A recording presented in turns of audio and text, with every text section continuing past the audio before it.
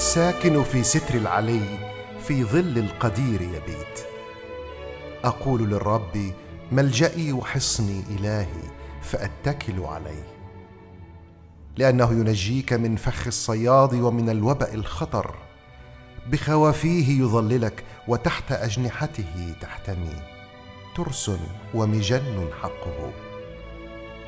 لا تخشى من خوف الليل ولا من سهم يطير في النهار ولا من وبأ يسلك في الدجى ولا من هلاك يفسد في الظهيرة.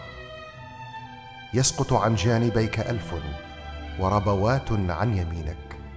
إليك لا يقرب.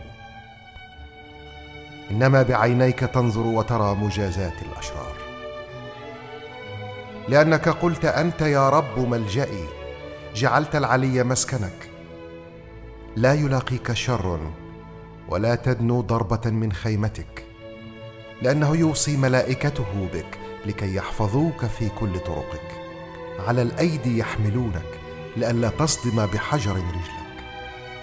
على الأسد والصل تطأ الشبل والثعبان تدوس لأنه تعلق بي أنجيه أرفعه لأنه عرف اسمي.